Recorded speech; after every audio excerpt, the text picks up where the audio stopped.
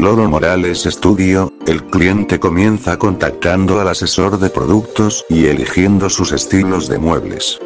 Don Lolo Morales acompaña al cliente al taller para ver el proceso de fabricación.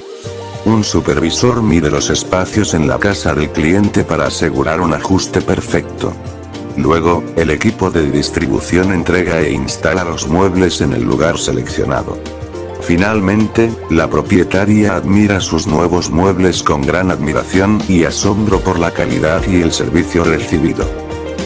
Trabaje siempre con talleres responsables que cumplen con todos los requisitos formales.